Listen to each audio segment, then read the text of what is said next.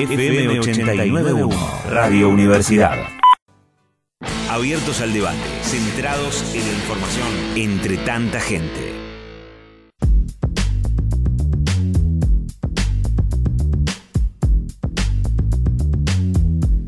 En Entre Tanta Gente, 16 grados 7 la temperatura actual, la humedad 54%. Podés comunicarte con nosotros al 15 388 50 89 por SMS o por WhatsApp o llamarnos al 46 16 23 40. Lamentablemente, Vanina, mm, hay algunas noticias que mm, eh, se, mm, eh, tienen como un efecto viral, ¿no? Y se Sí. van reproduciendo y, como decía, lamentablemente se repiten. Y este es el caso de mm, en el hospital de Berazategui, caso de mala praxis, como había sido la semana pasada, ese caso que nosotros comentamos aquí, eh, que tenía que ver con la amputación de la pierna equivocada de, de una paciente. Y en este caso, eh, otra eh, paciente que murió luego de que le extirparan la vesícula por error. eh, Otro caso de mala, de mala praxis. Y en el mismo hospital, en la misma clínica eh, que se dio aquella vez allí en Berazategui. Pero con fecha anterior esto. Claro. Eh, estamos en línea con eh, Paola Steklov, ella es la abogada de la familia de Teresa, que es eh, esta víctima de, de mala praxis desafortunadamente. ¿Qué tal Paola? ¿Cómo estás? Buenas tardes, aquí Mauro Jardón y Vanina Betancourt te saludan. Buenas tardes, Mauro y Vanina. Gracias por la comunicación. Bueno, ayúdanos a entender un poco qué fue lo que sucedió en este caso. Bueno, eh, la verdad es que es difícil de entender porque es un caso atroz de mala praxis. No es un caso sencillo o donde uno ve un error que pudo haber cometido cualquier médico. Es un horror lo sucedido. Eh, Teresa Angileta eh, eh, era una mujer de 71 años, activa, eh, trabajaba en su negocio una vida normal. En enero de este año desarrolló un cuadro de obstrucción de píloro, que básicamente es una obstrucción gástrica por la cual eh, prácticamente no podía comer. Eh, el PAMI la fue llevando lento, muy lento, a, a que recién en, en el 30 de abril, eh, el 30 de abril pasado, ella pudiera hacerse la cirugía de píloro que tendría que haberse realizado mismo en enero. eh, y la derivan para la realización de la cirugía al sanatorio, al nuevo sanatorio Verazategui. Eh, acá ella es atendida por el cirujano eh, Fernando Javier Paladino. El doctor Paladino eh, en la entrevista previa a la cirugía le informa cómo son los prequirúrgicos, postquirúrgicos, le informa que es una cirugía con un grado de complicación medio y que lleva como unos 15, 20 días de posoperatorio con internación. Ella se interna el día 30 de abril para hacerse la operación el mismo día y eh, asiste a la, a la operación con familiares. En una hora después de que ella ingresa a quirófano, eh, bueno, supuestamente la operación duraba entre dos horas y media y tres horas. Eh, una hora después de que ella ingresa a quirófano, la paciente ya despierta, o sea, eh, eh, con, con la anestesia superada. El cirujano sale a hablar con, con la familia. Primero mm, sale a hablar con la familia sin identificar a la paciente. O sea, en- la familia se da cuenta que no sabe el, num- el nombre de la paciente. Dice, familiares de la paciente de vesícula. La familia al principio no, no se daba por aludida porque ella no estaba para una operación de vesícula.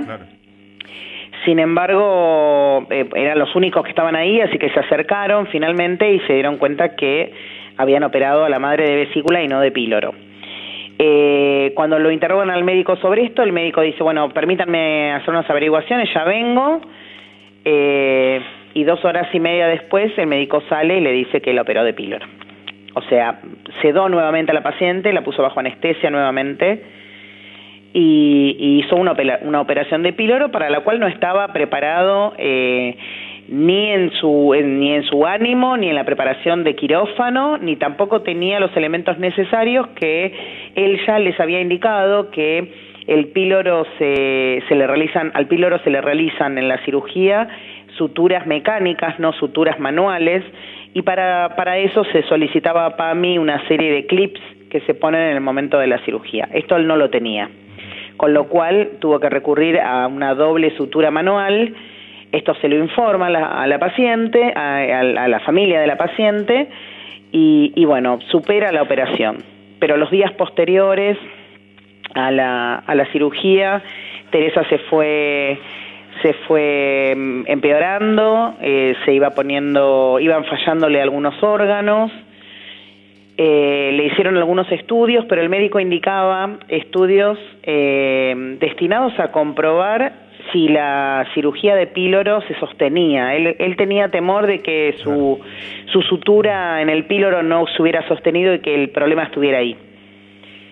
Sin embargo, el problema estaba en otro lado. Al realizarle una tercera cirugía exploratoria para poder ver si, si la salvan, eh, detecta el médico, el doctor Paladino, también realiza esta cirugía y le detecta que, que tiene, eh, digamos, se había soltado un punto del, del conducto biliar y esto provocaba el derrame de líquido biliar en, en la cavidad abdominal y por supuesto una, una infección generalizada. Es decir, que mm, la muerte de Teresa finalmente se termina dando por una complicación en esa operación de vesícula. Exacto, se termina dando por una complicación en una operación, que, nunca tendría que haber sucedido. no estaba ni diagramada. Claro, donde le habían hecho una ablación de un órgano sano. ¿Y cómo, y, cómo siguió esto? Bueno, por supuesto, vos, eh, me imagino las, la familia se habrán contactado con vos, eh, pero, pero ¿cuáles son los pasos que se siguieron? Y, y en todo caso, también mm, saber de quién es finalmente la responsabilidad, si es de PAMI, si es del, del propio médico, de la clínica. Em, en, en, este tipo de casos hablamos de diferentes tipos de responsabilidades.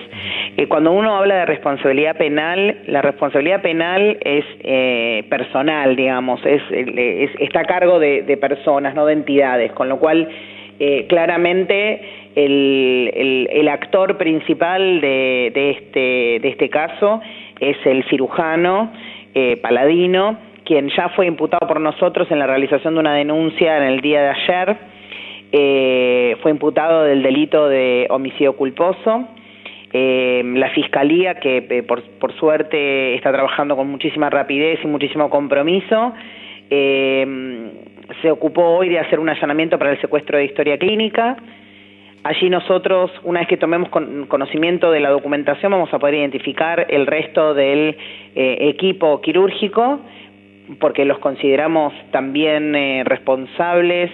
Eh, ya veremos el grado de responsabilidad penal, si es en grado de coautoría o de encubrimiento, qué tipo de participación han tenido, porque la verdad es que no nos podemos explicar que una paciente entre a un sanatorio para una cirugía y se le practique otra. Eh, y que todos los integrantes del equipo médico hayan incurrido en el mismo error. Esto no tiene ningún tipo de justificación. ¿Qué tal, Paola? Buenas tardes. Buenas tardes. Vos como, como abogada y con la experiencia que me imagino que debes tener, eh, ¿esto está siendo más eh, habitual ahora? ¿Está pasando más seguido ahora o ya viene hace varios, eh, varios años, bastante tiempo? El tema de la mala praxis, ¿no? Me refiero en, tanto en jubilados, que, es lo que, estamos hablando ahora. Vos nombraste a PAMI, bueno, estos casos así de mala praxis que, que vienen surgiendo. Yo creo que en realidad es una cuestión eh, que ha ido mutando muy lentamente desde el punto de vista cultural. Eh, no creo tampoco que, la mala praxis sea una epidemia incontrolable, creo que hay muchísimos médicos muy hábiles en Argentina, eh, nosocomios que trabajan con mucha responsabilidad. Eh, y después tenemos este tipo de nosocomios como, como el nuevo sanatorio Verazategui, eh, donde realmente se trabaja de una manera completamente irresponsable, sin protocolos, sin procesos. Eh, tenemos conocimiento que, los empleados del mismo sanatorio sufren muchísimos, muchísimas vejaciones en el, en el desarrollo de sus trabajos. Esto, por supuesto, no puede generar nunca un, un, buen vínculo con el paciente.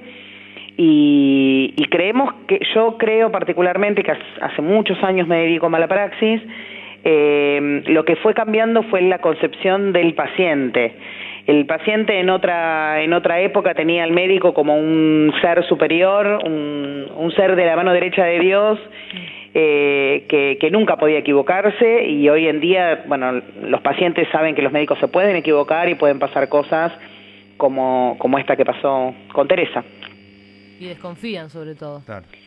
Sí, claramente, desconfían. Lo que pasa es que todavía no desconfían lo necesario para hacer, eh, para hacer valer sus reclamos. Hay muchísima gente que, que me ha estado llamando y que, que tiene casos de años hacia atrás y que nunca han reclamado por, por temor, por, eh, por desconocimiento de, de, si pueden acceder o no a un profesional, eh, por diferentes motivos o porque no fueron correctamente asesorados, porque la verdad es que eh, el, la especialización de mala praxis no es una especialización que tengan todos los letrados. Entonces, bueno, la realidad es que también hay varios factores que hacen que sobre todo los abuelos se queden eh, fuera de la posibilidad de reclamar como corresponde por la atención médica, ¿no? Paola, muchas gracias por esta comunicación. Esperemos obviamente la vida de Teresa, por supuesto que no se va a recuperar, pero por, mm, eh, por lo menos que haya justicia y que no suceda más estas cosas, ¿no? Porque vemos eh, cómo han sucedido en la misma clínica, pero también hay muchísimas eh, otras que, no nos debemos enterar, ¿no? claro, la familia lo que quiere es cortar con la situación de impunidad, porque, porque la verdad es que considera que si de algo tiene que servir el fallecimiento de Teresa es interrumpir este ciclo espantoso que existe en este sanatorio, donde realmente la vida de los pacientes no vale nada. Muchísimas gracias por esta comunicación, Paola. Gracias a ustedes. Un abrazo. Hasta luego. Paola Estekloff eh, es la abogada de la familia de Teresa Angileta, que es eh, la mm, jubilada que falleció mm. después de una operación de vesícula a la que no debería haber sido sometida, que se equivocó o vaya a saber qué pasó con, con el médico que la tuvo que operar, eh, que estaba preparada para otra operación, terminó siendo esta de, de vesícula y terminó falleciendo a causa de esto.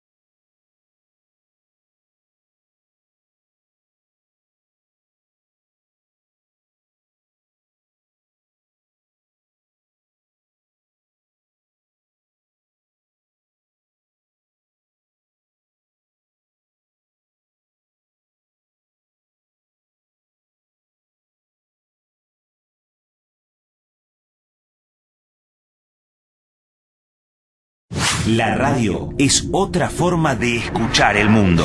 Desde la Universidad Nacional de La Matanza, Radio Universidad FM 891. Siempre cerca.